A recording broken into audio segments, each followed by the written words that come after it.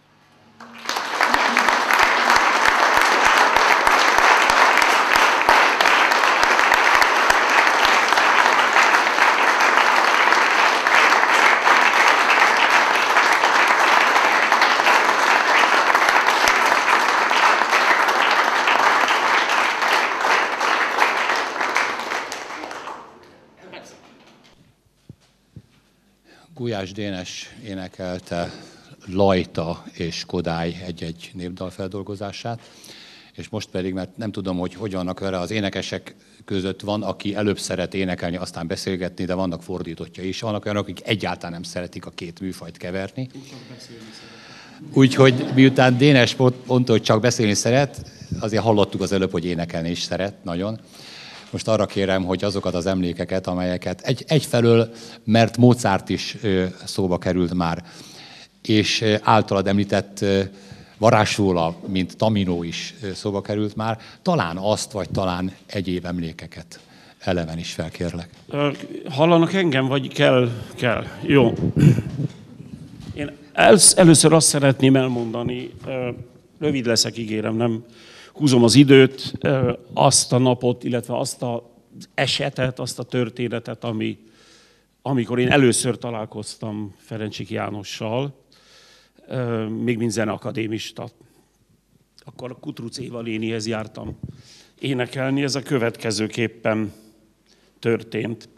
Éva nénihez visszajártak a Zeneakadémiára régi növendékei is, ha komolyabb vagy új feladatra készültek, így Ercse Margit, amikor Ebolit, vagy Rozsos Pist, amikor Don carlos énekelt.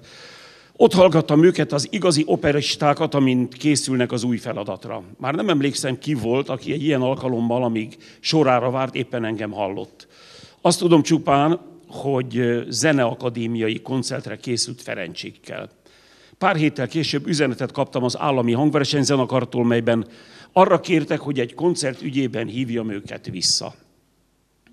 Első zeneakadémiai koncertem született meg így, Schubert Ezdur miséjének második tenorszólamát énekeltem, Korondi Gyuri és én, mint tenorok, Barlai Zsuzsa alt, Koltai Valéria szoprán és Szalma Feri bácsi, mint basszus. Zsuzsival, ő az első feleségem, korepetitor, zongorista volt, azonnal nekiugrottunk a feladatnak, végig zongorázta nekem az egész misét, megtanultam a szólamomat, teljes szereptudással váltam az első próbát. Délelőtt tízkor a Vörösmarty téren az AHZ a állami hangversenyzenek a próbateremében először a zongorával, majd zenekarral próbáltunk. A pulzusom 120, néha egy-egy extra szisztolé, szűk gyomor és remegőt ért kalács. Ja, maga az, akiről beszéltek, a zeneakadémista, mondták az öregek, és meglapogatták a hátamat. Ha tudja a darabot, ne izguljon János, csak akkor dühös, ha valaki nem tudja a szólamát, vagy bizonytalan. De majdnem kicsúszott a számomra, hogy de kérem, én készültem, amikor Ferencsik szinte feltépte az ajtót, és kisé morcosan kikiabált a folyosóra, gyertek be! Ettől a pillanattól olyan volt minden, mintha nem is velem történt volna. Bemutatkoztam, Ferencsik kezet nyújtott, Megtanulta? kérdezte. I- igen, dadogtam. Akkor kezdjük, ülve vezényelt. Odaértünk ahhoz a részhez, ahol az első tenorral együtt kell énekelnem. Fiatalos magabiztonsággal nekilódultam a tizedik taktusnál, Ferencsik annélkül, hogy abba volna a vezénylést, rám nézett, miközben Korondi György művész úrral, csak később lett nekem Korondi Gyuri, együtt énekeltük a szólamunkat, és kisé mérges és morgó torok hangon felé mögte. Tegye le a kottát! Persze azonnal letettem, és kotta nélkül énekeltem végig a darabot. Izelítőt kaptam abból, amit már hallottam párszor Ferencsikről. Sokan féltek tőle, igazi mogul volt, igazi varázsló, igazi domináns lélek. Vaskosan követelő, zord, kemény, kíméletlen a felkészületlenekkel, nagy összetartó erő, öregkorában görög tudását frissítő, izgága káprázatos muzsikus, nagy mester. Két nap múlva koncert a Zeneakadémián, toporgok a művészek szobájában, közben magamban felteszem a kérdést, tényleg én vagyok itt kőbányáról, én várom itt az ügyelő hívását? A közönség bent van, a zenekar a helyén, Karnagy úr, parancsoljanak, mondja. És miközben szívem majd kiúrik a helyéről, látom Jókatis, ő egy gyerekkori szerelmem volt, szőke fürtjeit, eszembe jut nagyapám, amint apámat arra int, hogy vigyázzon rám, mert én még viszem valamire. Eszembe jut, amit amint sapkáját szorongatva sírt a hordágyon, amikor a mentősök a kocsiba tették. Ahogy örültem, hogy legalább frisse van borotválva, hiszen talán aznap reggel én borotváltam őt. És eszembe jut minden, a fűrészpor a lábamnál, amikor az öreg a fűrészbak mellett az első nótát tanította nekem. A nehezen szerzett zongoraórák, a matematikával vívott küzdelmeim, Nagyagyám forró krumplia a postaládában, az egér a fiók sarkában, az otthoni játékos zenehallgatások, anyám aggodalmai, majd mutató ujja, mint a turandot ping-pong tercetjében, a vonósok éteri dallamát rajzolja a levegőben, Kosztolányi hajnali részegsége, a sok-sok varázslatos szerencse, amely átsegített az akadályon, bukdácsoláson, érettségin és ott tolongott a fejemben minden Zsuzsitól kapott mondat és szeretet, az Anatole France és Maupassant novellák, a meghallgatott és végigénekelt zenék, a megcsodált festők, szobrászok, építészek, a Biblia, Éva néni és az öreg rókák a Honvéd együttesben, szóval minden, amihez az ajándékhoz segített, ehhez a felelősséget, kötelességet és egyben izgatott bizonyítani akarás jelentő boldogsághoz vezetett. Elindultunk a színpad felé, csapóajtó, kovácsolt vas korlát, néhány lépcső, balra tőlem egyenruhás tűzoltó, az ügyelő kinyitja a pódiumra nyíló ajtót, és félrehúzódik, tessék. Ferencsik áll leghátul, a szólistákat előreengedi, ő jön utolsónak, amint megyünk a pódium közepe felé. Még átvillam bennem, hogy talán udvariatlan voltam, talán előre kellett volna engednem őt és a szólistákat is, hiszen én vagyok a legfiatalabb, micsoda illetlenség előre menni, de hiszen a többiek szinte maguk előtt tolnak, akkor is biztosan ez a szokás, gondoltam. Megállok a székem előtt, felemelem a tekintetemet, és először nyílik ki előttem egy új dimenzió, egy új elvárás, egy új öröm, egy új élet. Ez volt Ferencsik János nekem.